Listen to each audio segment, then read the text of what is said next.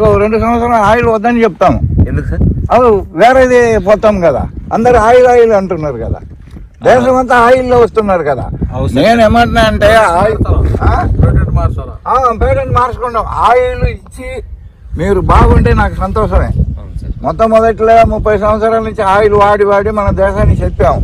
Oil మంచిదే కానీ వీళ్ళు మంచిది ఇవ్వకుండా మా దగ్గర కూడా ఆయిల్ ఉన్నాయని చెప్పి రైతులు జరగొట్టేయకూడదు కదా. అది కరెక్ట్ సార్. ఆ? అంతే కదా? రైతులు జర మనకి ఇక్కడ తిరిగి రైతులు బాగుండాలనేది మన కోరిక. రైతులు జడగొట్టేయకూడదు కదా? ఇలా చెడగొడితేనే మనకు వేరే దీనికి వెళ్ళిపోవాలి. రైతులు బాగా చేసింది వేరే దీనికి వెళ్ళిపోవాలి.